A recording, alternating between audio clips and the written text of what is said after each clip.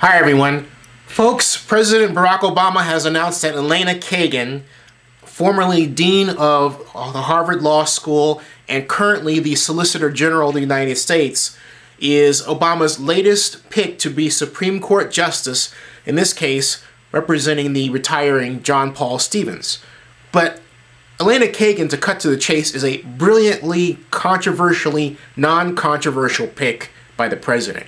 What I mean by this is that, or by that, is she has no bench experience.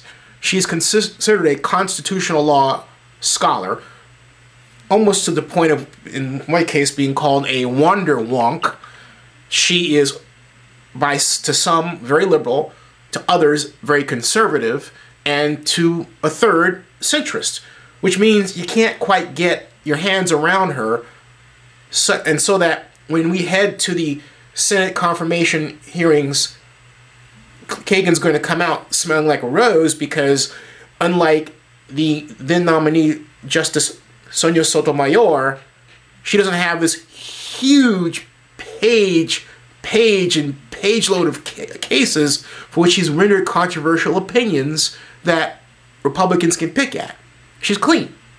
And because of her reportedly agreeable nature, it's quite likely she'll come out of these hearings saying absolutely nothing controversial. Excellent pick by the president in the middle of a hot election contest that's only going to get much hotter as we approach November. Oh, and about that rumor that she's gay, more technically lesbian, so what?